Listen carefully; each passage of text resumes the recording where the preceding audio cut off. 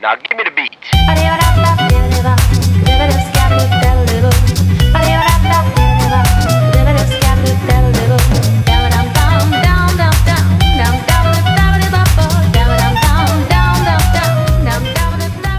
Hi, witches, was a This is White Raven over here. Today's Monday, so happy Magic Monday to all of you guys. How are you, witches? How was your week? This was some serious active week.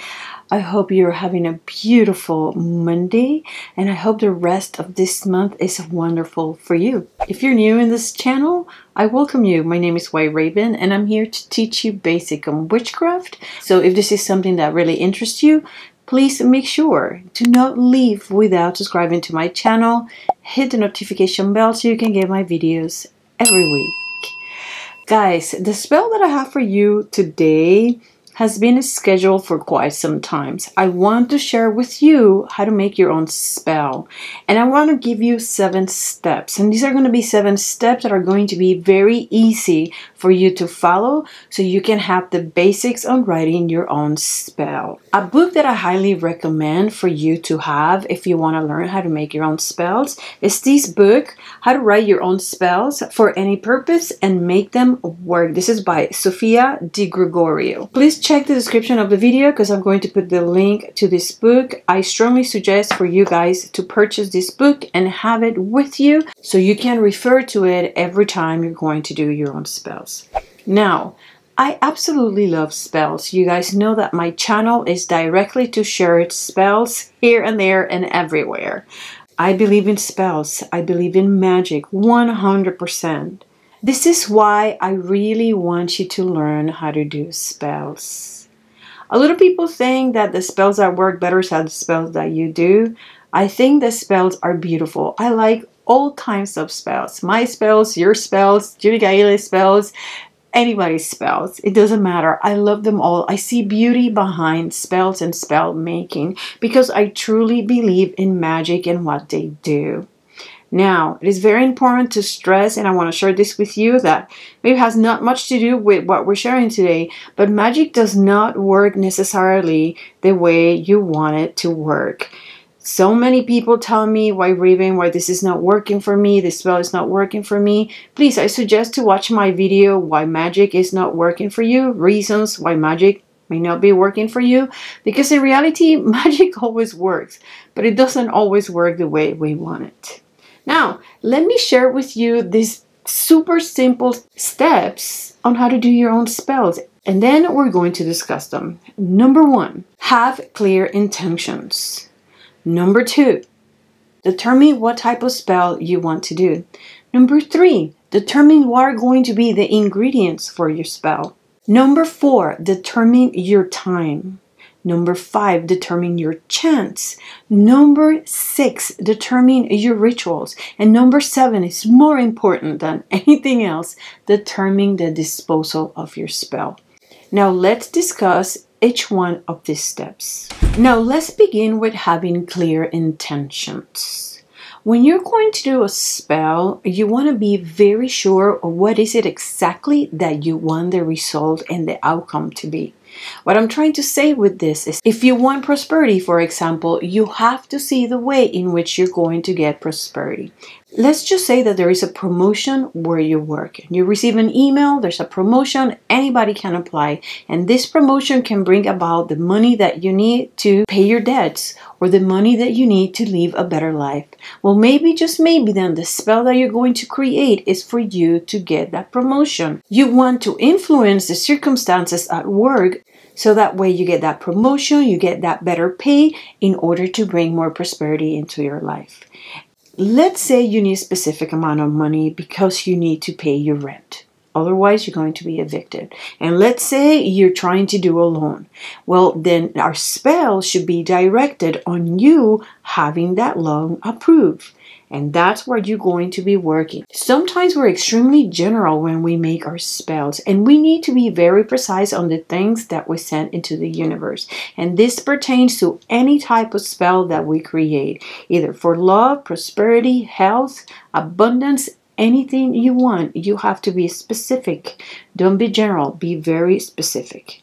Number two, now we're going to determine what type of spell we want to do. And when I say determine what type of spell we want to do, how elaborate you want these spells, how comfortable you feel doing and performing an elaborated spell. Now, you can start with candle magic. It's a very simple way of doing a little spell.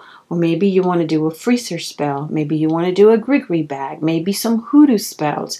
Maybe some puppet magic. There's many ways for you to do spells. You want to choose maybe whatever resonates better with you, what you used to do.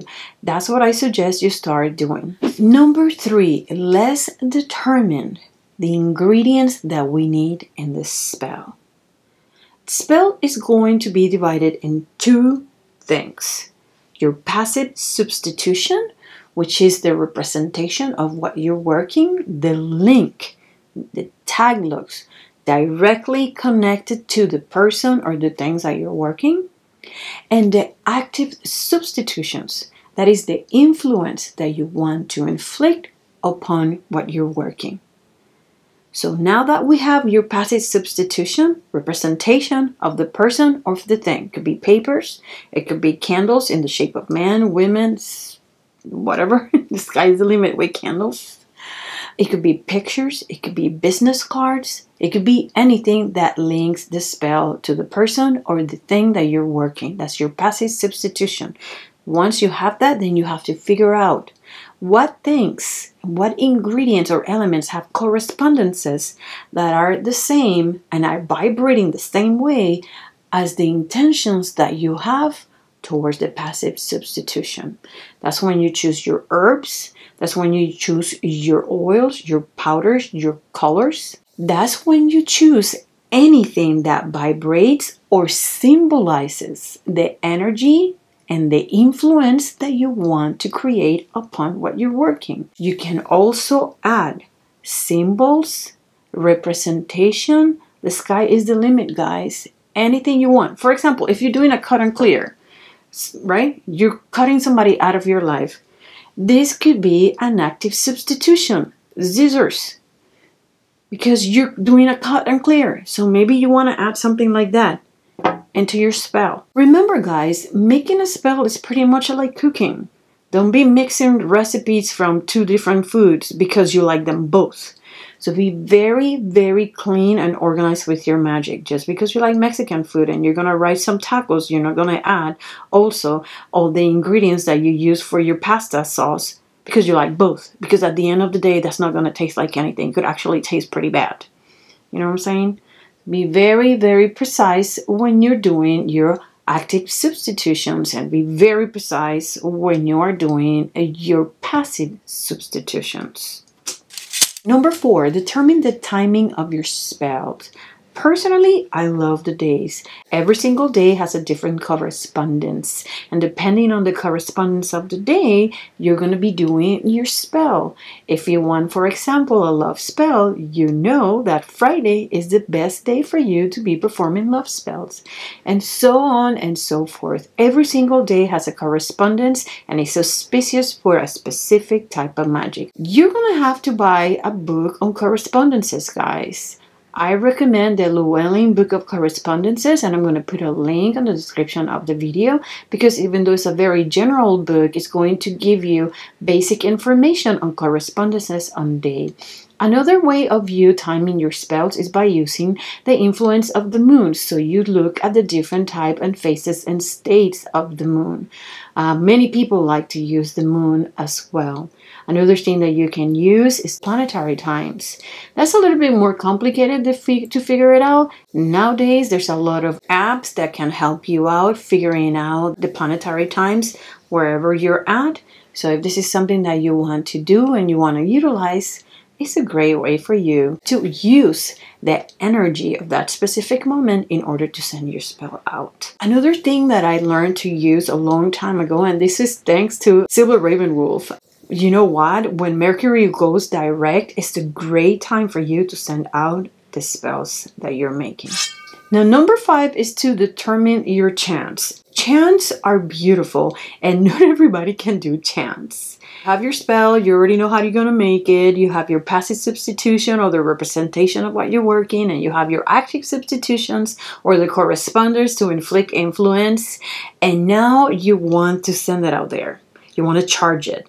So we're going to need a chant. And a chant is very simple, but not everybody knows how to write chant. Sometimes we don't have the inspiration to write something that really describes the way we're feeling inside. So this is what I tell you. Many, many, many people use Bible verses. You can totally use that. It doesn't matter if it's come from the Bible. You can use any quote that you love that pertains to what you feel, to how you feel, or what you want to do. If you have seen something in a movie that you really, really love, take it from the movie. I personally, when I write my chants, sometimes I just do code word. I think about what I'm doing, how I feel, and what word will describe my feelings and what's inside me. And then maybe, just maybe, I will do three words. I love to translate those words into Latin. And I have shared with you guys some spells in here in which I chant in Latin. It's very simple nowadays, guys. We have Google Translate. That's what I use. It even shows you how to pronounce every single word. And sometimes I like to chant that a specific amount of times. With those words, guys, you can also create sigils. And it's awesome to add that little hint of what you want to your spell. If you can create your own sigil, that's amazing. There's a video in my channel on how to create sigils. I'll leave it in the description of this video below so you can check it out as well. Number six, determine your ritual. So now that you have everything that you need for your spell, you want to know how to go about releasing this energy into the universe. I usually do a circle when I have to release something that is very, very dire and important to me. That's when I will be creating a circle. You can also do this skyclad. So, for those of you that do not know what skyclad means, skyclad is naked. Many people love to chant and do their spells naked. You can do it outside under the moon. I love doing spells under the moon. They're one of my favorite spells. So for me to go outside under the moon and do my spells outside. You can also do it indoors. I am lucky enough to live in a place that is rural and I can go outside in my backyard and do a spell in my backyard. But not everybody has that luck. So if you live in a city, for example, you can perform your spell inside your bathroom. Maybe you want to use a specific robes Sometimes for specific spells, I use specific clothes. Many people also add the color of the correspondences that you're working with to your robes and the clothes that you're wearing. Use your imagination. The sky is the limit. Make sure that whatever you do resonates with you and make you feel the right way in order to perform your spell. Last but not least, it is very important that before we commit to a spell, we know how we're going to dispose of the remnants of the spell, especially if they are curses. So please make sure that if you commit to do a spell that the remnants need to be buried in a cemetery, make sure you're not afraid to go to the cemetery and bury them there. Do not cut your spell short. You have to commit to the spell and you have to end it the right way a lot of curses that you do towards other people need to be buried in the person's property. If you cannot do that, maybe that curse is not the one for you. There's many curses that you can create. What I'm trying to tell you with this is please commit to begin and finish your spell. The remnants of your spells and how to dispose of those remnants is extremely important in order for your spell to give you good results. Do not cut that short, guys. These are going to be additional things that I recommend for you to do before doing any spells. You always want to cleanse before doing your spell. If you're in a bad mood because you come home completely loaded with all this bad energy from your coworkers, maybe you need to take a bath, you need to relax, maybe meditate a little bit, and then go ahead and perform your spell. Do not bring unnecessary energy into your spell. Make sure you feel the right way prior to perform your spell. Another thing that I highly recommend is for you to cleanse once you finish with your spell. Doing the same thing take a bath, clean up, clean your environment, and release the magic. Make sure you don't look back. You are done with that. Last, guys, make sure that if you're working with deities, with the fairies, a dead, a deceased person that we love, make sure to know which type of offerings to give. I highly suggest that if you're using any spirit, any deity, make sure that you leave an offering as well. And guys, remember, making spells is exactly like cooking. If you are going to cook a Mexican plate just because you like Italian food, you don't want to mix Mexican ingredients with the Italian ingredients. You're going to overdo it. That plate is not going to taste like one thing or the other. What I'm trying to tell you with this is be clean and organized with your magic. Just because you have a thousand ingredients doesn't mean you want to put all those ingredients in your spell. Be organized with your magic. The more you put in there and the more you charge it with things that are too much, overkill, you're going to make your spell drag heavy. Be simple, be organized, know what you're putting in your spell and why, and send it through. Thank you so much, guys, for all the love. Thank you so much for going into my page, White Raven and Witch's Lair on Facebook, my Instagram, White Raven and Witch's Lair on Instagram, and of course, thank you so much to everybody that is checking my website, White Raven and Witch's Lair go check out my products. They're there. I'm going to be putting more products in there. I'm trying to see which one i want to add now. There's so much i want to put in there but one day at a time one day at a time because i'm super excited. Please email me lairofthewitch at yahoo.com and ask me any question. Remember i do not work for people and please if you want to really help me out and you want to help out the channel make sure you share this video. Thumbs up comment on the video and check the description of the video because I'm going to be linking in there videos and books for you guys to do your own research. It is always awesome talking to you witches. Until next time, stay wicked. Bye.